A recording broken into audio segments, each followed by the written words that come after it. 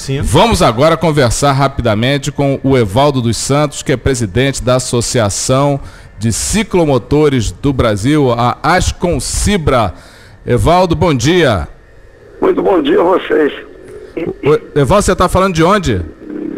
Bom, agora atualmente eu estou em Governador Valadares, ah. mas a ah. nossa entidade reside lá em Ubar.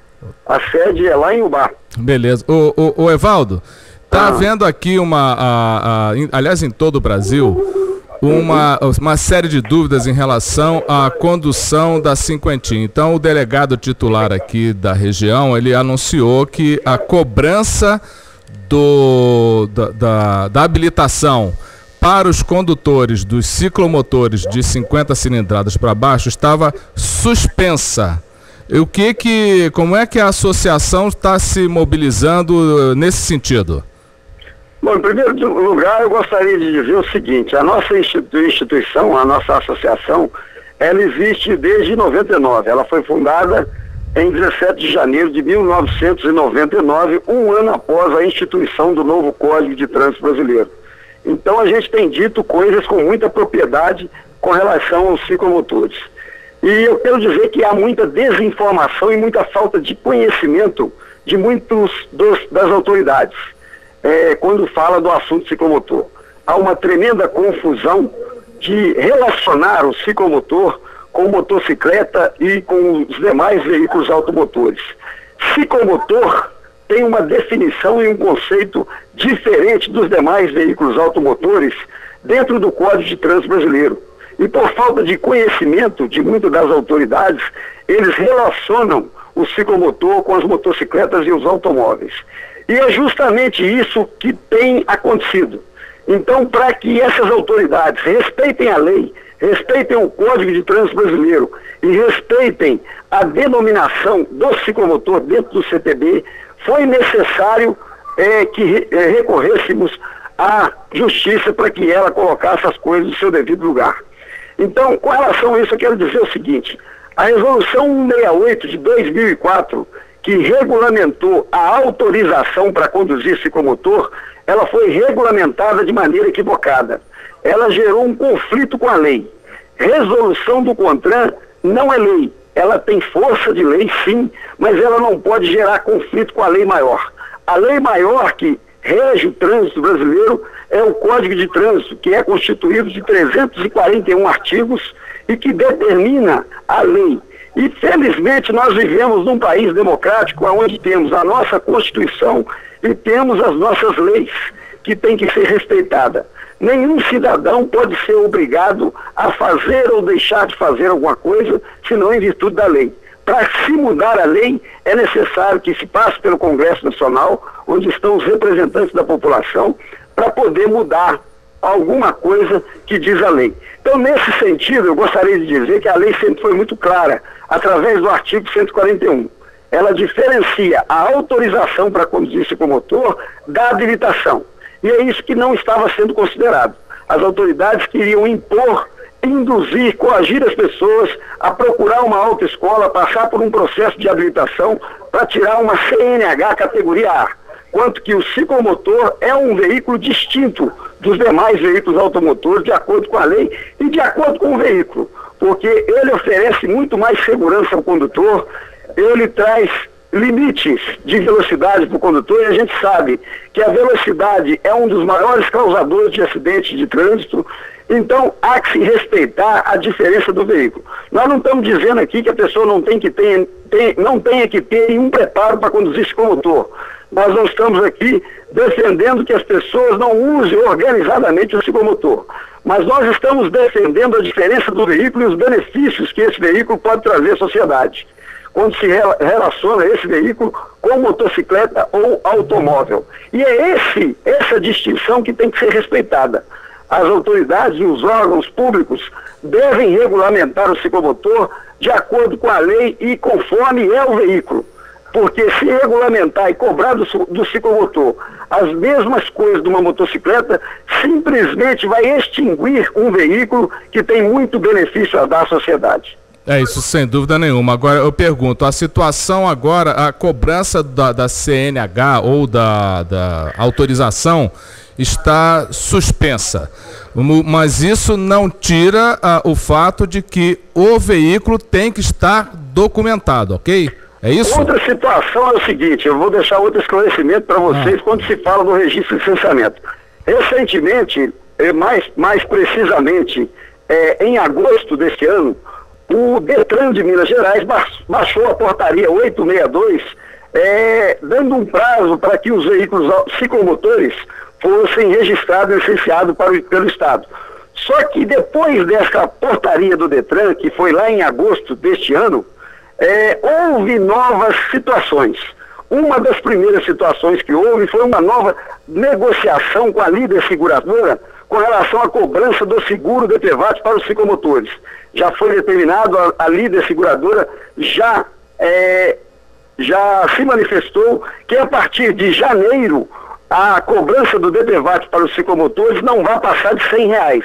Outra situação é que depois da portaria do Detran, houve uma nova resolução em âmbito federal, que vale para todo o Brasil, ditando novas regras para o registro e licenciamento do ciclomotor. Isso após a portaria do Detran. E além disso, agora, recentemente, nós tivemos essa decisão judicial que foi para que é, os órgãos estaduais é, não mais usem a atribuição da resolução 68 que gerou conflito com a lei. E essa, essa decisão judicial, ela não deve cair por terra, não. Porque o próprio Denatran, o próprio Conselho de Trânsito, já manifestou que para o ciclomotor deve emitir uma nova resolução é, considerando as diferenças do veículo, para que ele não passe pelo mesmo processo de habilitação no qual, no qual estava sendo imposto aos condutores. Então, a gente entende com muita clareza que a partir dessa decisão judicial, esse prazo que o DETAN determinou para o registro de licenciamento dos ciclomotores até novembro, deva ser prorrogado até o ano que vem, mesmo porque há uma desorganização imensa. Sim. Quando se vai levar o, o para registrar e licenciar, porque quer se cobrar ainda valores que não são para o ciclomotor. Também outra coisa, além de querer cobrar valores que não são para o ciclomotor, estão cobrando em alguns casos é retroativo ao ano passado o valor de seguro obrigatório, sendo que a própria líder seguradora já determinou outro valor para o seguro DPVAT dos ciclomotores. Então há uma desorganização, uma desinformação das autoridades de trânsito em vários estados. E nos estados, sem ser o de Minas Gerais, a gente tem é, já sete estados que isentaram o IPVA para os ciclomotores. A gente tem um estado que já determinou as taxas um valor de 75% de desconto para os ciclomotores quando se compara aos outros veículos. Então, e nós, a nossa entidade também está trabalhando junto à Assembleia de Minas Gerais para que o Estado, o governo de Minas Gerais, é, respeite e determine uma nova regulamentação, um novo registro de licenciamento para os ciclomotores, observando a, a, diferença do veículo e respeitando, assim, impondo novas taxas para o registro de licenciamento dos ciclomotores. A gente está trabalhando junto à Assembleia de Minas, que inclusive na semana que vem teremos outra reunião lá com comissões de deputados, para que o governo envie para aquela casa uma nova norma, um, novas taxas para registro e licenciamento dos ciclomotores dentro do estado de Minas Gerais. O, o, o Evaldo, agora nesse momento, enquanto está esse impasse, essa indecisão, o que você recomenda uh, para os proprietários, uh, para quem tem o ciclomotor e para quem uh, tem que negociar o ciclomotor? O que, que ele diz? Olha, Olha só, vai precisar é de carteira. Saber o seguinte, é ah. É importante saber o seguinte, nesse momento é, tem que se respeitar a decisão judicial e ela não é, ela não veio para ser derrubada não, ela veio para organizar a coisa. E para organizar a coisa, o CONTRAN deve baixar uma nova resolução tirando de dentro do processo de habilitação a autorização para conduzir ciclomotor. A autorização para conduzir ciclomotor não é carteira nacional de habilitação. Ciclomotor não circula em âmbito nacional ele é restrito a uso municipal em perímetro urbano, em vias e rodovias com velocidade limitada. Então, o documento, a matéria aplicada ao condutor descomotor é completamente diferente, os valores são completamente diferentes. E isso, por decisão judicial, foi agora levado para que o Conselho Nacional de Trânsito, através do Denatran, é, faça uma nova resolução respeitando o Código de Trânsito Brasileiro e instituindo uma nova regulamentação para a autorização de ciclomotor. Então, atualmente, o que, é que o condutor precisa portar? Ele precisa portar a nota fiscal do veículo, que identifica a origem do veículo, e precisa portar o seu documento de identidade para provar que ele é maior de idade e pode conduzir o ciclomotor.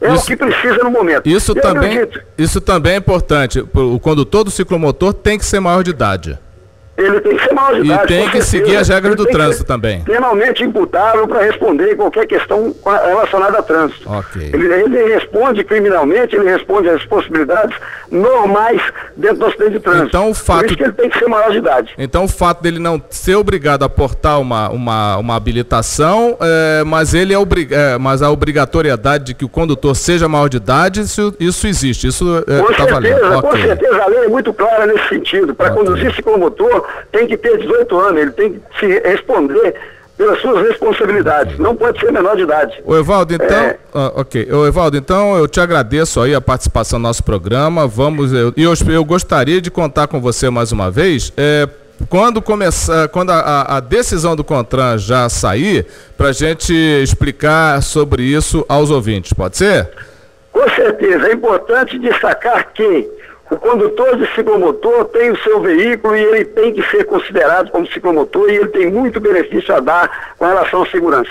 Okay. Não pode relacionar acidente de motocicleta e de automóvel com ciclomotor, não. É, são veículos diferentes e as pessoas que têm o seu ciclomotor vão ter o direito de ter um documento com, com mais facilidade proporcional à dimensão e ao impacto do veículo no trânsito. Não é carteira nacional de habilitação. Isso já é uma, uma decisão judicial e não vai mudar não por quê? Porque o CONTRAN já aceitou essa, essa, vamos dizer, essa diferença do veículo e já vão trabalhar aí uma nova resolução para regulamentar a autorização fora do processo de habilitação. Um documento diferente da Carteira Nacional de Habilitação. Ok. Evaldo, muito obrigado eh, pela sua participação. Conversei aqui com o presidente da Associação de Ciclomotores, eh, de, condu, de como é? condutores de ciclomotores. Associação dos Condutores de Ciclomotores do Brasil. Do Brasil. Asconcibra. Asconcibra. O Evaldo dos Santos. Ok, Evaldo, muito obrigado.